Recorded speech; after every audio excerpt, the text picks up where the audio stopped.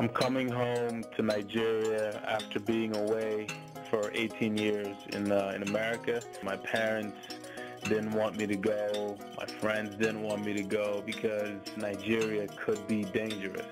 Next time it won't take so long.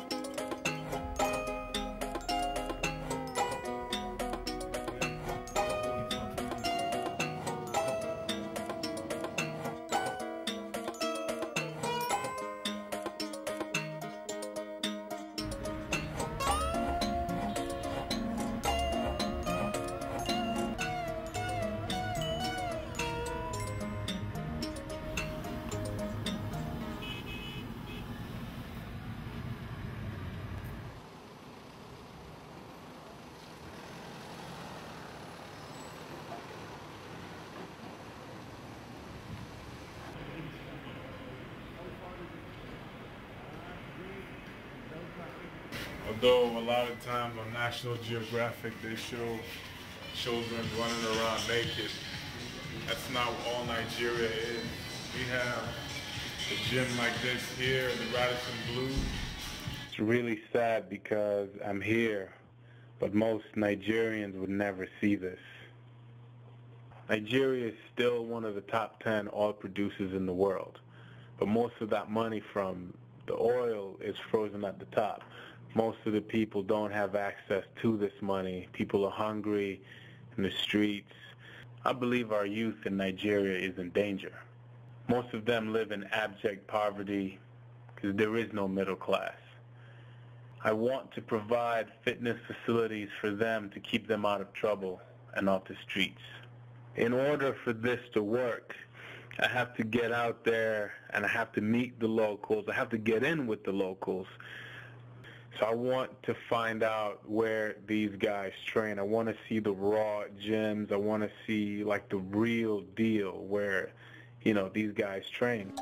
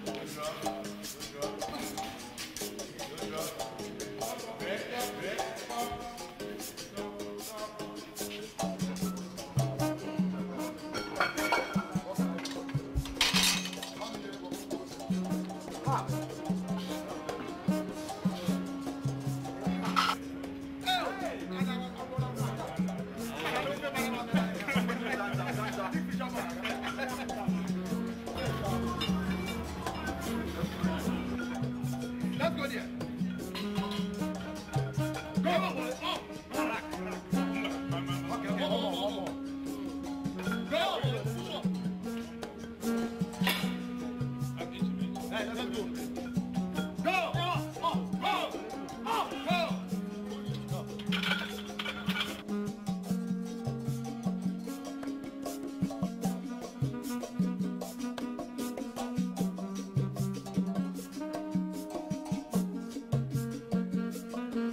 We need to save our youth. We need to empower the youth because they are our future. And um, I think that it can be done. A lot of them getting into all kinds of trouble. You know, setting up a, a an organization or a facility where they can come and get out that aggression. I mean, Nigeria is tough sometimes.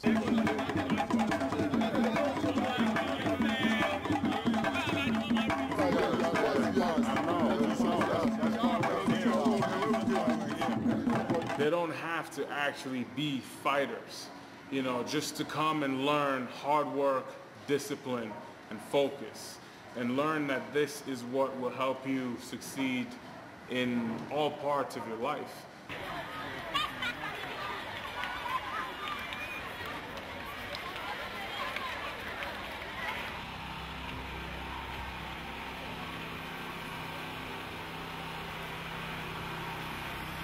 You can do anything.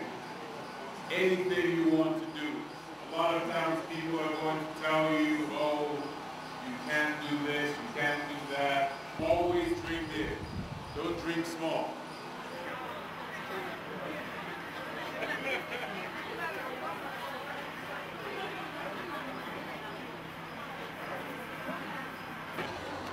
Good to meet you.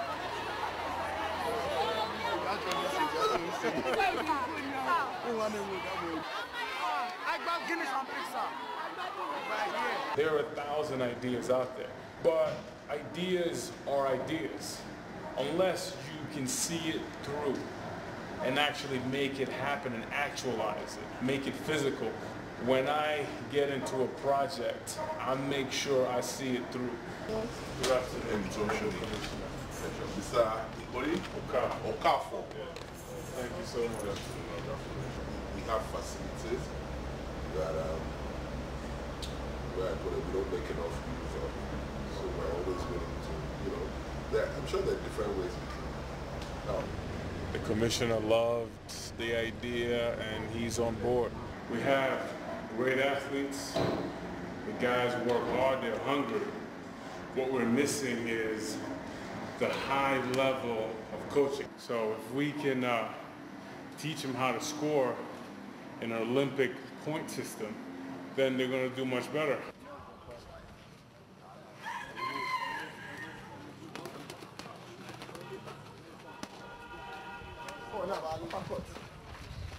Ten times. Ready? Go. One, two, three. One, two, three. Go. Two, three. Three. Two, three.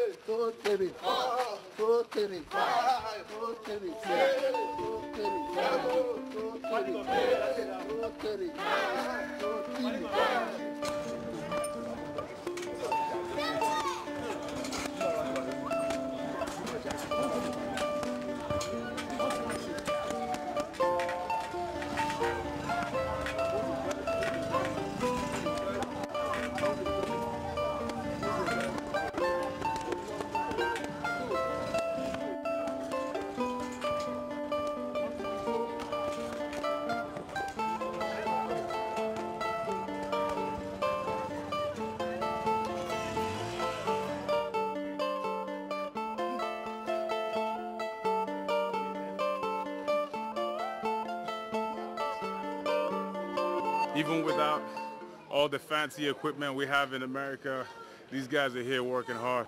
We won't be able to do anything in boxing without these guys. I mean, look around.